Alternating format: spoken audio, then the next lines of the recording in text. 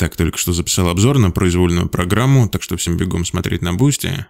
Ну, сегодня отдельно можно выделить три проката. Первый – это Аня Соболева, Матвей Чураков. Хорошо поставили программу, именно чувствуется вот эта плавность. Один из э, тех элементов, который ведет к завораживанию. Но пока мешает не очень уверенное катание и деревянность. Побольше бы пластичности. Дальше это Полина Жарова и Ранели Батулин. Ну, здесь Полина, конечно, ее платье, они прям придали изюминки этой программе. Программа замечательная, музыка какая. Но с другой стороны, в катании какая-то халтура больше была, и вот эти опять перепады скорости. То набирают, то теряют, то набирают, то теряют.